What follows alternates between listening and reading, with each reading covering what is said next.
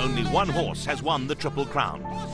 Now there could be another. Pierre Jourdan's got the Pierre Jourdan has won the first two legs. Can he clinch the Triple Crown and a 2 million rand bonus by winning the SA Derby? Be there when Pierre Jourdan bids for Triple Crown glory. The SA Derby on Champions Day, Turffontein, 24 April.